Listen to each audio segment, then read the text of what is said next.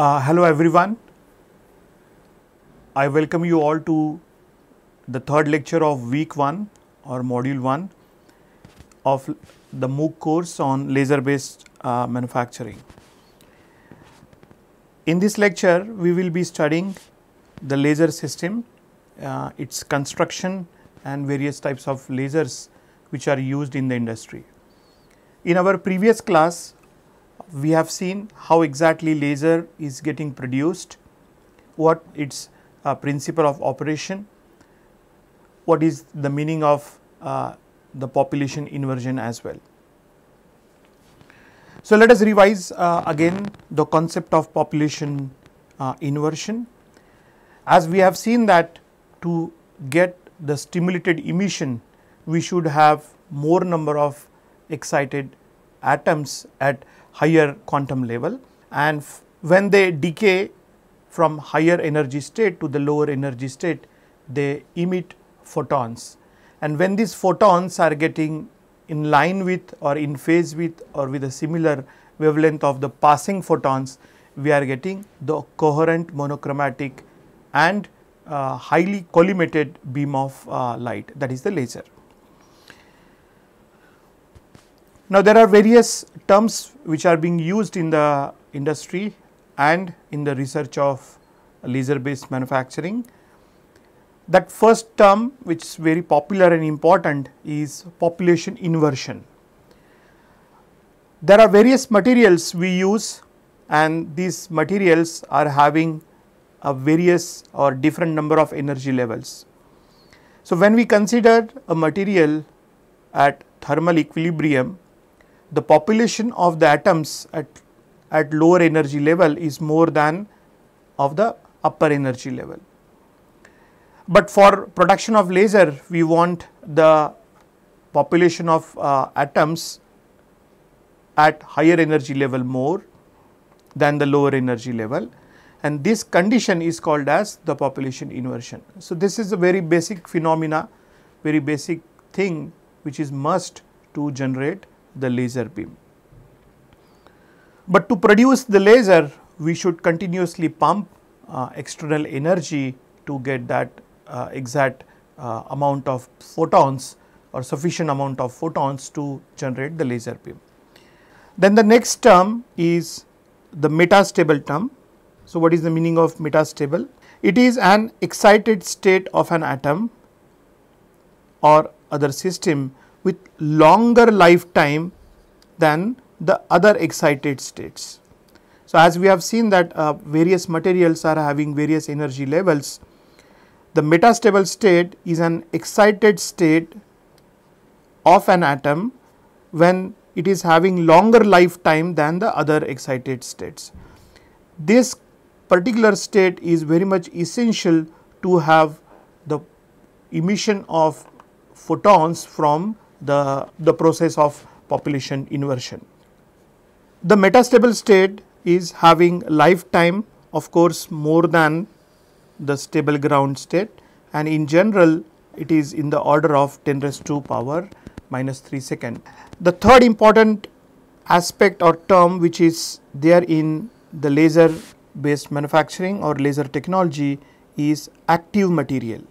So, we want to generate the photons which are producing the laser, but who will produce that laser, what material we have to utilize to generate the, the series of photons or a, the bunch of photons or a population of photons which will generate uh, the laser beam. So, that material which is being used in generation of the laser technology is called as the active material. So, this active material can be a gas can be a solid or can be a liquid and this active material also being called as uh, the lasing medium as well. So, we will see various types of uh, these lasing materials or the source of generation of the, the lasers in our next few slides. Now, let us start discussing about how exactly we produce the laser and what is its construction. So, in laser we required a basic component that is called as resonator. So, we have seen that in population inversion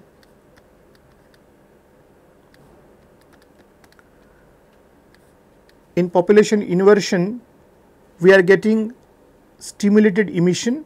So, this emission is stimulated and we are getting a lot of photons. So, population inversion we can write here as it has a very huge capability to amplify the photons. So, this amplification the population inversion has ability to amplify a signal to stimulated emission.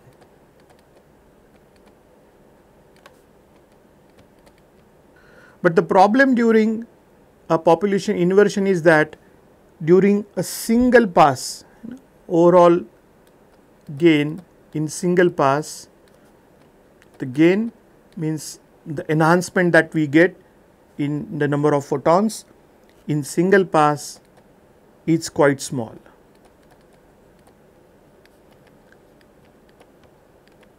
Now, our target or our objective is to enhance this. So, we have to enhance the gain, we have to produce as much as number of the photons so that we can get high power density laser beam. So, what is required to enhance this? Another point in the population inversion is that most of the excited atoms emits spontaneously so, during this single pass most of the excited atoms they are they are emitting the photons spontaneously. So, most of the atoms emit the photons spontaneously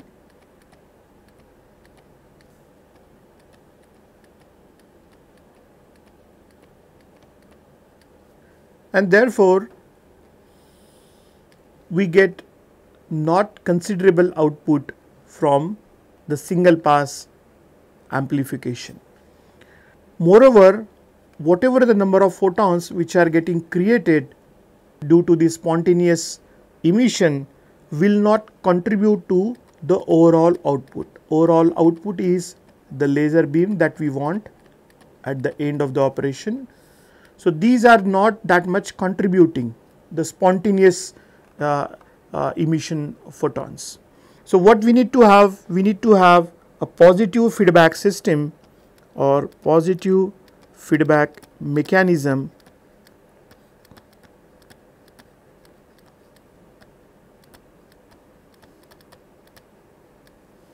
in which the majority atoms in the population will contribute so, we want to enhance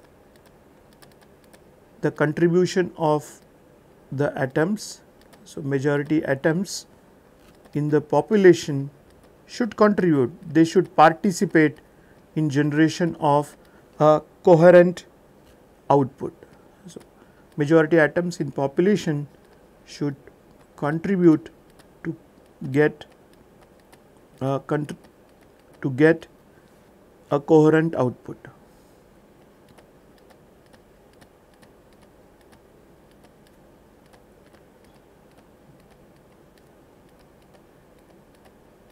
So, meaning is that we do not want to have a, just a single pass. So, we have to have multiple number of passes of this the photons that to be transmitted during the operation. So, there the concept of resonator came into picture. So, resonator is having a system of mirrors. So, resonator is nothing but a system of mirrors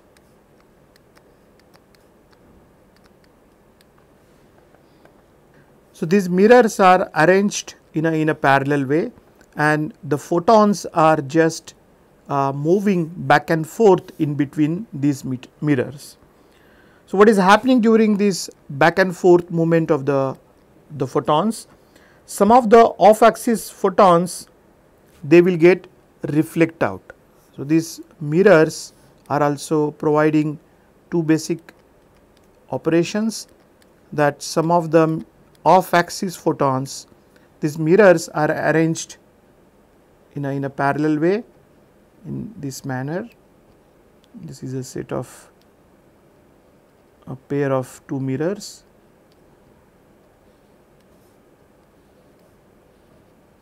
and it has an axis as well. So, inside this cavity, the cavity made by two set of mirrors. So, this is mirror number 1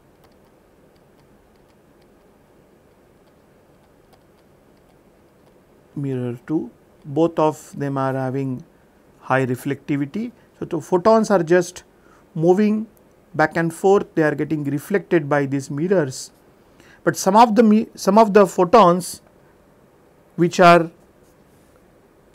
off axis. So, some of the photons are off axis. So, this set of mirrors will reflect them out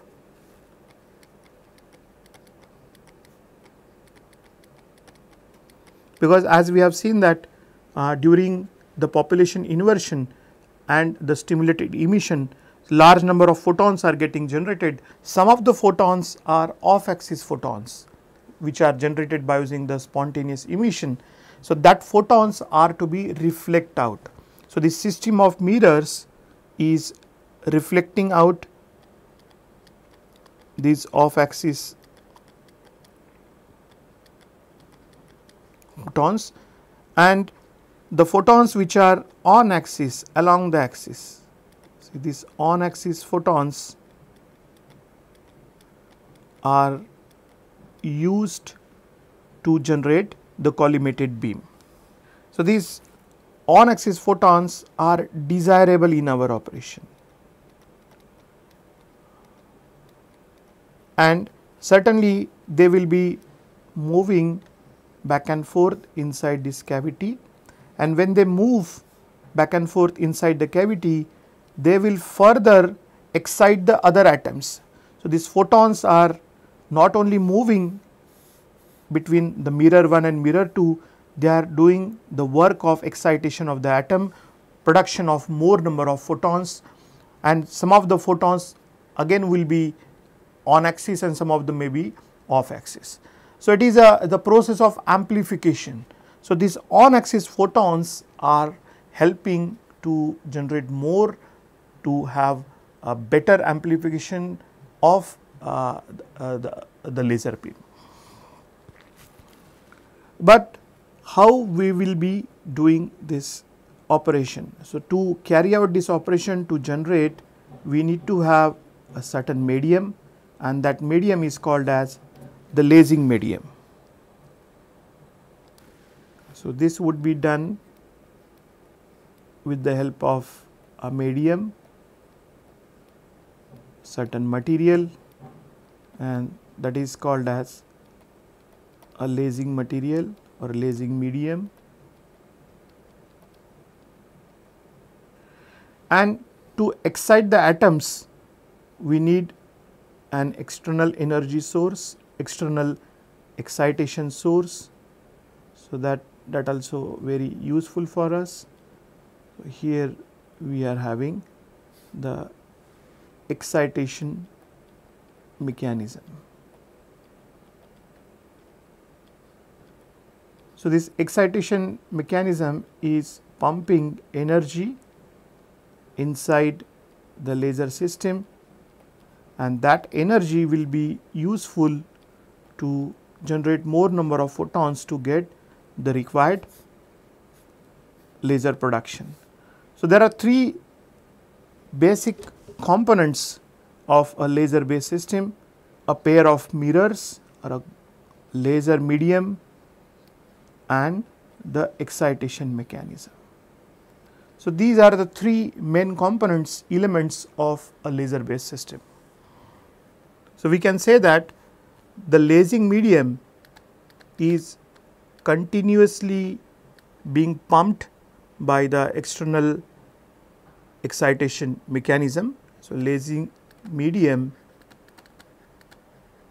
is continuously pumped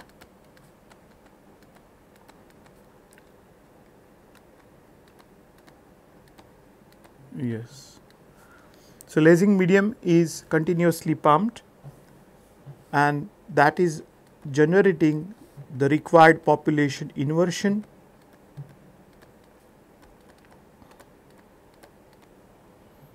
at lasing wavelength. So, this is very important here. So, we want the population inversion it should be at the lasing wavelength only.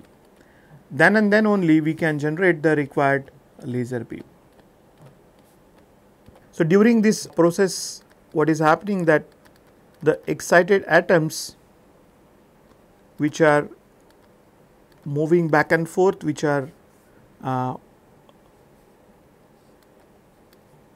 contributing for generation of the photons they will get decayed and that decaying is generating the photons as we have seen using the spontaneous emission.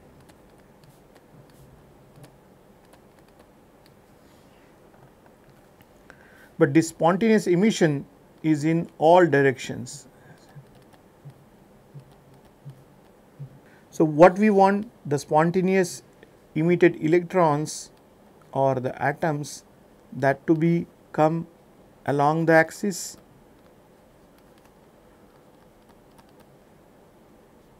or on axis which will contribute for laser production.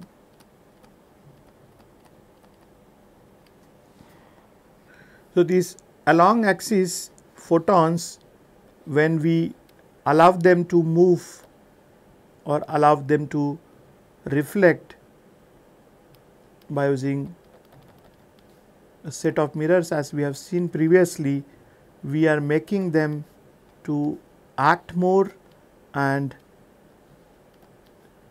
generate more number of photons by interacting with the other atoms. So, these photons are interacting with other atoms and then they are generating more number of photons.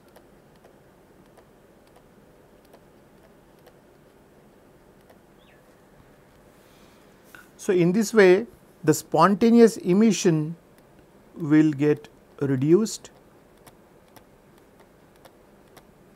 and slowly the stimulated emission will get enhanced.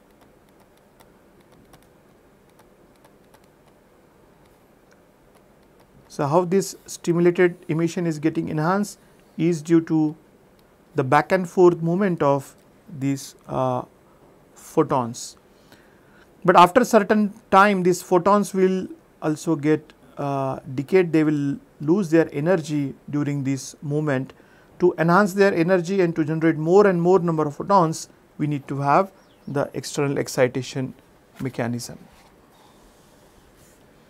Now, when these uh, photons are moving back and forth between mirror 1 and mirror 2, after some time we have to take out some of the photons for our intended purpose. So, consider we are having highly refractive mirror 1, this is a highly reflective and mirror 2 is also highly reflective. So, no output will be produced, no photon will come out from this cavity from this region. So, what we make here we are making this M2 as a partially transmittive some of the portion or some of the photons are to be transmitted out they are to be taken out from this cavity. So, to make this possible we are making M2 that is mirror number 2 partially transmitting, partially transmitting.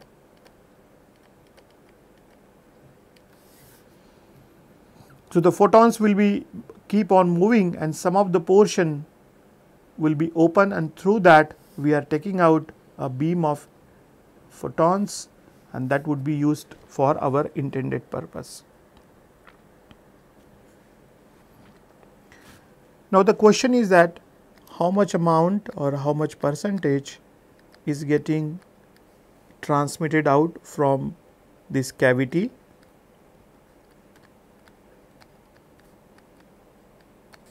So, this may be a fraction of a percent, fraction of percent. There are many types of lasers being used. So, fraction of percent will get transmitted and the example is HENE laser, helium neon laser. So, only fraction of percentage of the on axis photons which are getting generated will get transmitted out. But there are certain types of lasers which are transmitting out about 50 percent or more.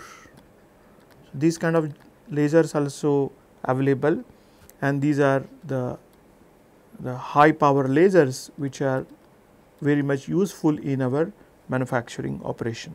So, these high power lasers which are having more capacity to transmit out the photons from the optical cavity or the resonator. Now, when we consider a pair of mirrors and in in between this pair of mirrors the photons are getting moving back and forth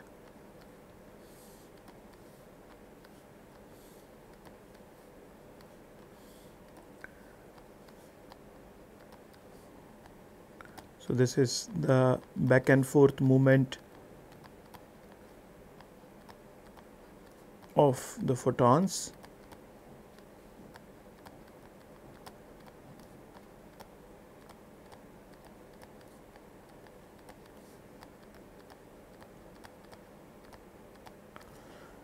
So, there are basically two modes in which we can get the laser and that is called as the stable laser and the second one is unstable laser.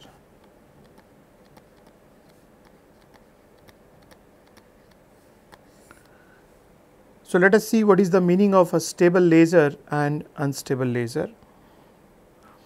So, laser is called as a stable when a ray which is injected, when a ray injected into the optical cavity or a beam of photons which is there in a optical cavity or optical system uh, ray injected into the optical system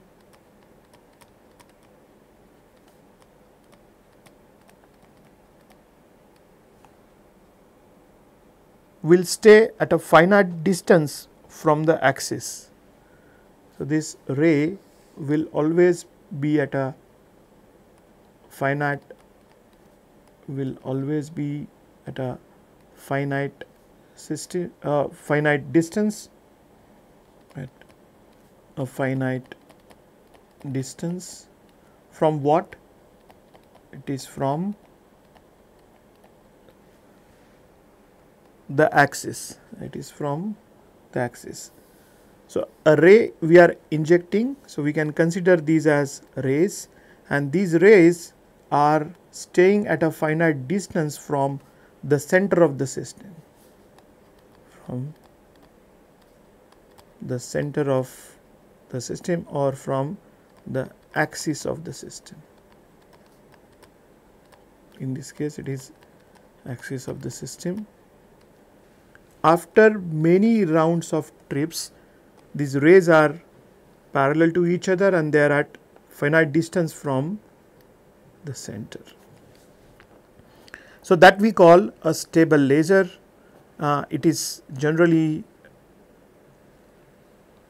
possible or uh, all the laser which are we are using uh, from low power to the medium power they are the stable lasers. But when we consider a high power laser when we want to have high uh, output from a laser system, then we are applying more excitation energy, excitation mechanism and the rays which are coming out which are getting diverged from the axis of the system that energy that diver, diverged photons we have to collect them and then apply or then we, we can use them for our intended purpose. So, geometrically or technically we can consider these as when the, the rays would sooner or later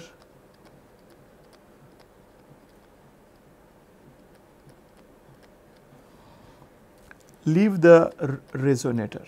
Why they are leaving? They are getting diverged from the axis. So, they will leave the resonator optical cavity and that rays we have to collect them out and we have to take it out and use to generate a laser beam. And generally these divergence is occurring in transverse direction. So, this leaving or the diversion divergence is occurring in transverse direction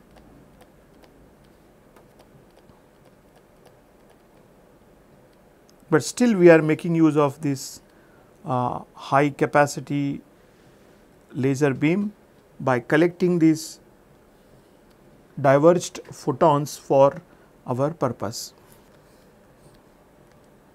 So, let us summarize the constructional details that we have seen till now. A laser is having some of the basic components and that basic components are a set of mirrors that we have seen. We require one completely reflecting mirror, totally reflecting mirror and we required one partially reflecting mirror to get the output from the laser system, to get the photons coupled out from the laser system. The photons which are moving back and forth are generated by using an active medium or a lasing medium. So, this is the second component of the laser system and as we have seen that we need to have external excitation. So, this is the excitation mechanism pumping source.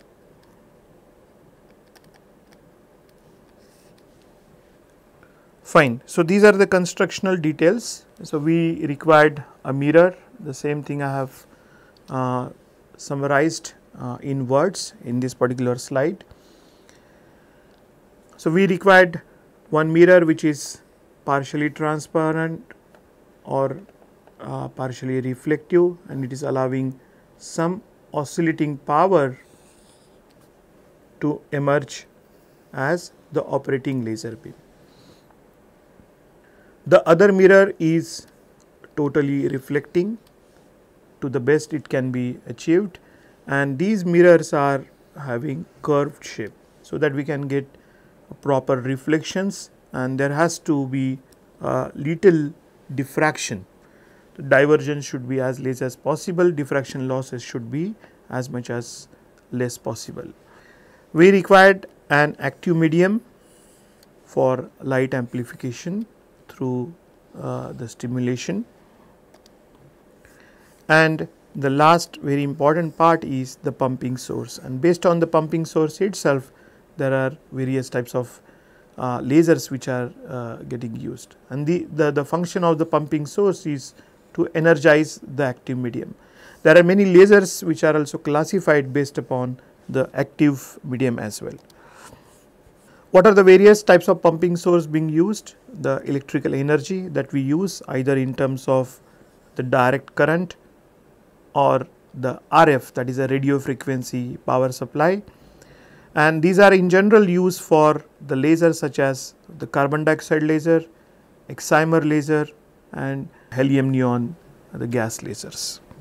We can also use focused pulse of light. We can use the light beams or the light as uh, and uh, we can use light as a, a pumping source and these are in general used for a solid laser that is uh, the Nd:YAG laser.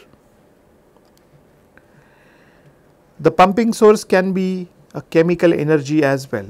So, chemical reaction of some of the, uh, the chemicals can be utilized to provide the, the external excitation and these are uh, done in general uh, the iodine laser. So, one of the examples of the utilization of chemical reaction is the iodine laser. Now, some aspects about the cavity or the resonator that we will see here. The laser cavity is an optical oscillator in which the laser beam or the the photons are oscillating between the two uh, mirrors. So, as we have seen that the cavity can be stable or unstable, it is all depends upon the convergence or the divergence of the laser beam in between the set of uh, mirrors. So, when mirror curvature is at either end should fall within the certain value to keep cavity stable else it loses power around the edge of the output. So, if we are converging the power then we are getting a collimated beam at the center or about the axis, but if the divergence is there of the laser power then we can get the laser power around the edge of the mirror. So, from that the annular region uh, the the circular region about the mirror we can take out the uh, laser power as well. The lasers up to 2 kilowatt are called as the stable cavity designs and they are providing safe transmission of power at this power level without risk of breakage. So, whatever the photons which are uh, uh, oscillating or reflecting they will not harm the mirrors and the output mirror is partially transparent the way we have seen in our previous discussion. And uh, this is possible this partially transparency is possible by using certain coating materials. And what are the various coating materials which are available is zinc selenide, gallium arsenide, cadmium telluride for the CO2 type of lasers and BKC and BK7 fused silica glass for the YAG type of lasers. In high power range for high power lasers the unstable cavity design is used and the power is generally taken from the edge of the output mirror uh, to avoid the risk of breakage at this power. So, this divergence is expected, it is desired. So, to avoid uh, the harm or to, to avoid the damage uh, to the system. The output mirror is totally reflecting, it is a metal optic we are using here, but the annular from the annular region we, we are taking out the laser beam for our application.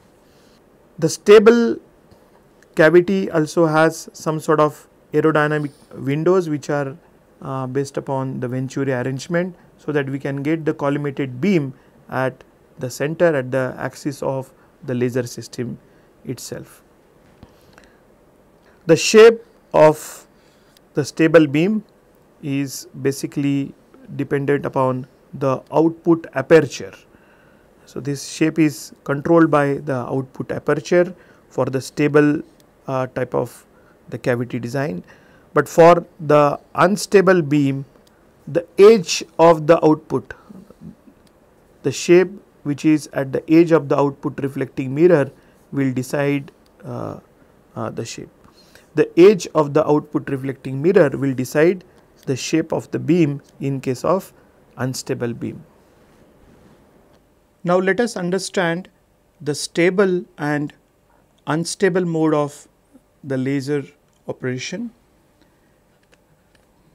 As we have seen that in the stable mode the beam is oscillating several times inside the cavity.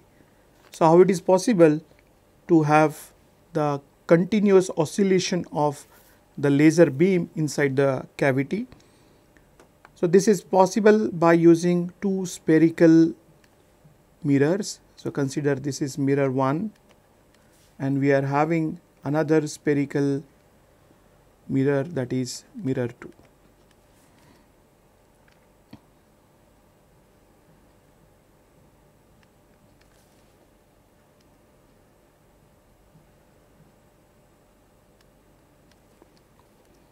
So, when a beam is starting from mirror 1, it will get struck to the mirror 2, then from this place it is getting reflected, it will come back to mirror 1, from mirror 1 again it is getting reflected and it will come to mirror 2 and then further it comes back to mirror 1 and it will keep on oscillating. So, in this way we can achieve a stable mode of laser operation. But during this continuous uh, oscillation there may be chances of having damage to the mirror if the beam is too intense. So, this is happening when we use the laser power more than 2 kilowatt. So, in this kind of scenarios we are using the unstable mode of laser operation. So, in unstable mode we are using a plane mirror. So, this is mirror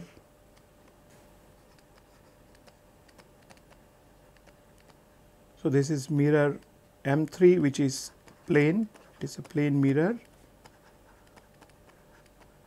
and we are using one spherical mirror. So, this is a spherical mirror that we do have. Now we start getting the reflection operation.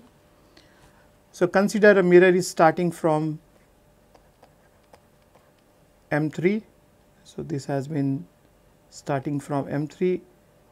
So it will get reflected from M4, it will come to M3 and from M3 it will get diverged. So it will move in this direction in a it will not converge it will diverge it will move away from the center or the axis of the system. In a similar way so we can have the divergence on the other side. So, with this kind of arrangement we are getting the stimulated emission however, there is the, the divergence and that diverged beam will be utilized for our intended operation. But if you keep on oscillating the laser beam in stable laser, no output will be possible. So, what we do here, we are making the mirror M2 partially transmitting and we will take out the output from the stable laser. So, in general the stable laser is producing a coherent output at its center. So, this is the coherent output that we get at the center from the stable laser. However, in unstable mode we are getting the output at the annular region at the border or at the edge of that spherical mirror and in general we get the output in the unstable mode is of the ring shape. So, high intense beam will get diverged out and we are getting a ring shaped laser beam in case of unstable output.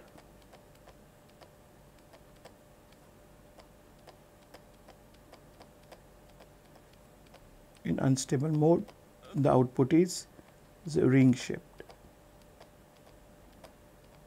So, naturally the ring shaped beam is reducing the intensity of the beam and that is reducing the risk of damage to the mirrors. The ring shaped beam is poor for focusing. So, as we are getting the diverged laser beam, so naturally the focusing would be poor. However, we can get the high gain per round trip of the uh, the laser oscillation. The unstable mode does not require several number of oscillations between the mirrors. The high density power in stable laser we must have several oscillations, several oscillations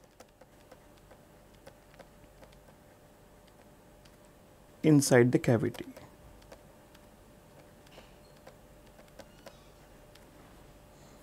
And this already we have seen that the stable mode is suitable for less than 2 kilowatt and it is more than 2 kilowatt. The laser beam characteristics uh, in our previous class also we have seen mm, there are basically four important characteristics of the laser beam. Uh, first is high monochromaticity, coherence and high intensity. So, let us see one by one this uh, laser beam characteristics. In our previous class also we have seen that the laser beam is different than or it is having a peculiar difference between the normal light in these four terms only. So, the high monochromaticity, coherence, high directionality and intensity. So, let us see one by one what is the meaning of high monochromaticity.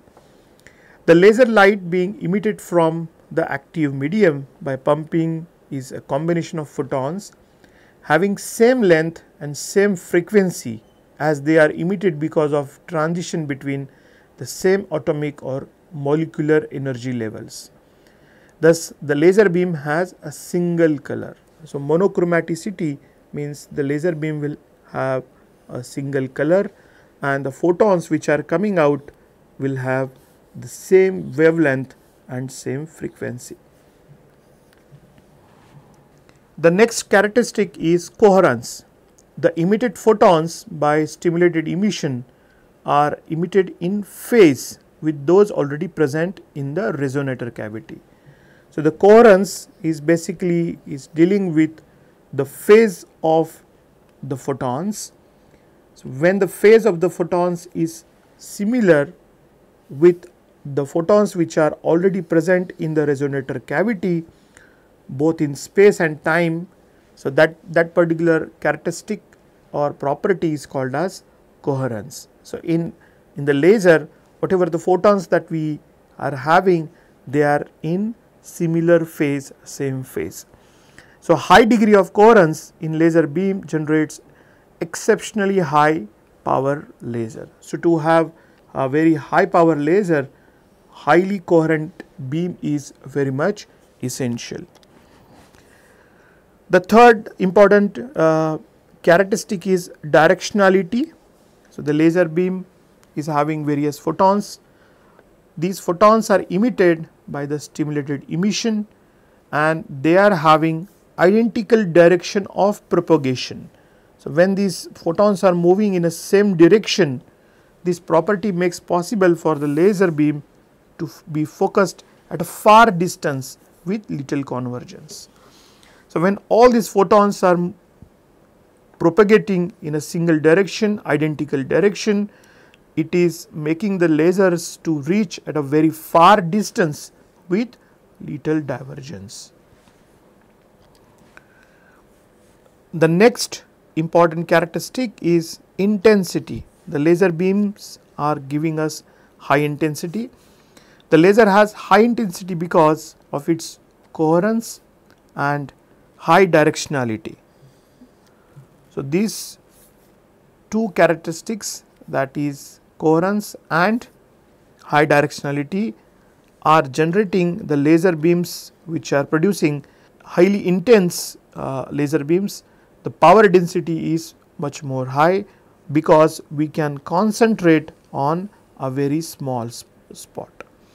So, when the coherence is there, when high directionality is possible, it can be concentrated into a small spot which is generating highly intense laser power.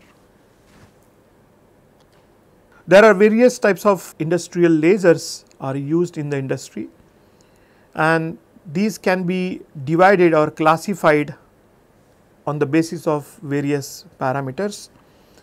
The first parameter or the type is the number of energy levels. So, which we can have like 3 levels of energy or 4 levels of energy. There are various lasers such as ruby laser, copper vapor lasers, these are all coming into 3, three levels of energy. HENE laser, Nd:YAG lasers and CO2 lasers are coming in 4 levels. Further we can classify the industrial lasers based upon the active medium or the lasing medium as I mentioned. So, we can have a solid state laser where active medium is in solid form, ruby laser, Nd:YAG laser or ND glass lasers and titanium sapphire lasers are uh, the examples of solid state laser.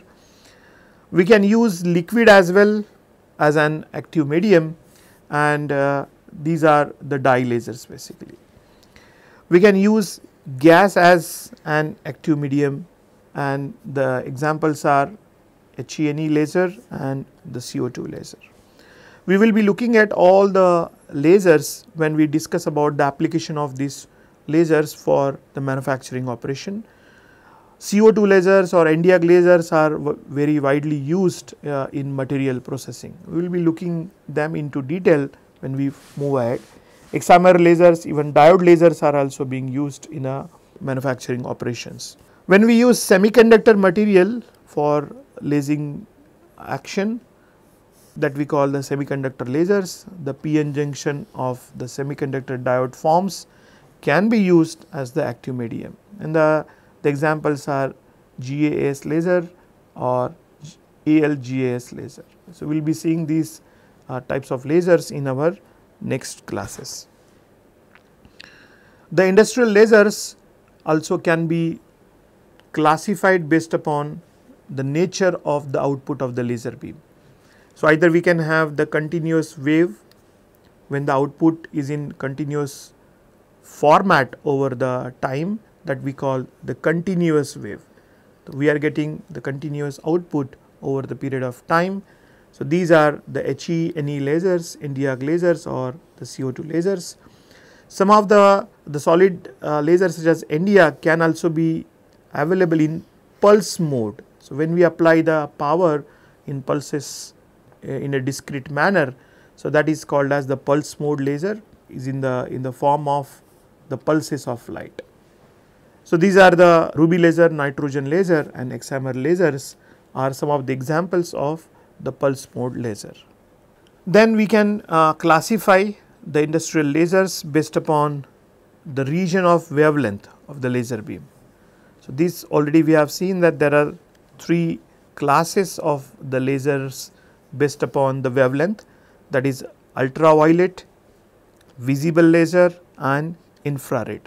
So, as we have seen that the visible laser is having the wavelength between 400 nanometer to 700 nanometer and see the ultraviolet light is having uh, the laser uh, wavelength below 400 nanometer. So, infrared is having the higher wavelengths basically. So, infrared are the Nd:YAG lasers or the CO2 lasers. Visible lasers are the ruby, HENE and the dye lasers. Then there is a another interesting classification that is based upon the hazards. Lasers are to be operated very carefully. So, based upon the hazards there is a classification. The class 1 laser is safe under normal use, but it might have an risk when we viewed with the microscope or the telescope of sufficiently high aperture. So, this, these are the class 1 lasers. So, there is another class in 1 that we call class 1M. It is safe during normal utilization. However, when we pass through a magnifying device such as microscope, it can create problem to us. So, if the laser falls in this class and uh, in if the power that can pass through the pupil of naked eyes is lower than the accessible emission for the class 1.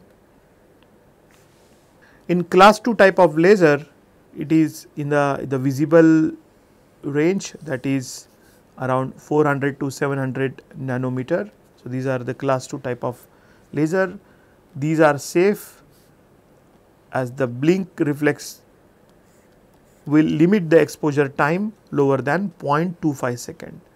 So, even though we are getting exposed this type of laser to our eyes, this the blink reflex of our eye will control the exposure of these lasers to our eyes. However, the intentional holding of the blink reflex could lead to potential eye injury.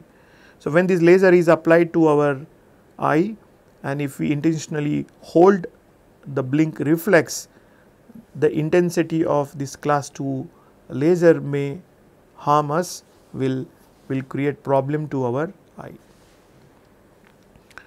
Several measuring instruments which are there in our laboratories or the laser pointers are coming to this uh, the class 2 type of lasers. Then there is another class here the class 2M. So, this class laser is safe as the blink reflex if not viewed through the optical instruments. Similar to class M, these class laser lights are with a large divergence. The light passing through the pupil should not exceed the specifications for class 2. So, this is also uh, to be taken care during the, the operation with, uh, with our natural blink reflex. Then we are also having some other types of lasers classes based upon the hazards that is class 3A in which the, the laser is safe if handled carefully. So, this is very important we will be working with the lasers, but if you do not uh, handle them carefully certainly it is going to harm you. The permissible exposure can be exceeded which is associated with low injury risk. So, this is a class 3A lasers are uh, uh, quite careful to be handled otherwise we may have low injury risk. Class 3B lasers these are hazardous if exposed directly to the eye and we must have the protective eyewear during the utilization or during operation using this class 3B lasers. The class 4 are most dangerous among all the lasers and these are basically being used in high power uh, material processing. These are used in military operations, in medical operations, scientific and industrial applications. So, we must be very careful when we are using class 4 type of laser during our operation. There is a high amount of the fire risk during utilization of these kind of lasers. When we use these class 4 lasers, uh, we must have uh, the system should have the safety interlock and a key switch. Now, what are the various types of advantages this laser technology provide us? Since last two classes we have seen that we require a high intensity and high power uh, energy beam and that is provided by the laser. So, this is the biggest advantage as far as the material or the manufacturing processes are concerned. So, we are looking the lasers which are useful for manufacturing operations. We have seen that lasers can be focused on a target area and it is preventing damage to the surrounding area. So, wherever we want to have the processing that much portion will be targeted by the laser and it is not harming it is not damaging the surrounding area. So, this is very useful advantage we will see during our material processing that is a machining and welding. In welding that we call the heat affected zone in welding so, there is a term we will be seeing in our coming lectures that is HAZ heat affected zone. So, this heat affected zone is very less when we are using lasers. Lasers are having high flexibility. The conveyance is very simple through uh, nowadays we are using fibers, fiber optic technology to transmit or to convey the lasers wherever it is required. Lasers are used to process different materials. They do have this peculiar uh, capability that lasers can be used to process all types of materials, metals, non-metals, conductive, non-conductive materials, all sort of materials can be processed. It is contactless process, it is a tool-less manufacturing. So, there is no physical mechanical tool and that will save a lot of lead time. So, no mechanical forces are present, no friction will occur and that is giving us a lot of saving as far as uh, the product uh, development or product manufacturing time. Lasers are easy in automation. Nowadays, we are using the CNC that is a computer numerical control systems. So, lasers are very well compatible to the advanced CNC systems or, or the automation systems. Lasers can produce any shapes on materials with high accuracy. The accuracy levels of lasers are very high and they are providing us a very good repeatability. In our next week uh, class during machining, these terms will come in, in frequent the accuracy and the repeatability of the process it is in laboratories or in a, in a industries we must develop the systems with high accuracy and high repeatability. So, lasers are providing solutions for the same. However, there are certain limitations uh, to the laser system. The initial cost is uh, little high in comparison with uh, the other manufacturing uh, systems, conventional manufacturing systems. The capital cost is high. Lasers are required regular maintenance and they are very delicate and very uh, careful to be handled. So, maintenance cost is high in case of lasers. To handle the lasers, skilled and knowledgeable operators and technocrats are needed. So, this is obvious to have the efficient utilization. So, efficient utilization will require the skilled operators and knowledgeable uh, technocrats. If the lasers are not being used properly, they may be very harmful to the human beings and may cause injury to the users. In material processing, some of the lasers are producing hazardous fumes during the operation and these hazardous fumes are not good for uh, the operator or the human beings. So, with this uh, I would like to stop for uh, the today's lecture. So, let us summarize what we have seen in today's class. We revised the concept of population inversion and we have seen that how to get the population inversion by having a set of mirrors. So, we have seen the concept of resonator or the optical cavity.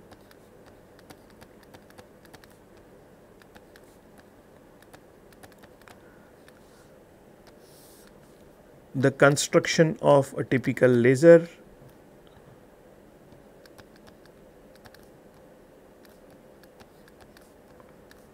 Laser system its parts. So we have also seen that what is the meaning of stable laser and unstable laser.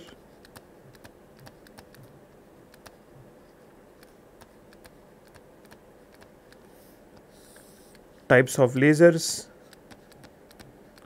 a detailed classification that we have seen.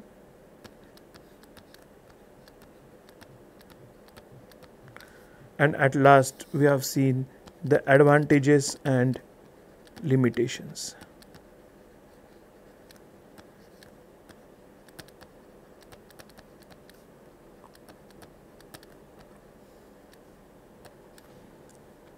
Fine. So, this is the end of week 1.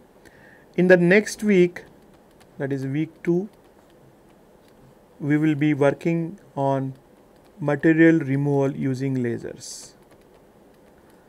Material removal using lasers.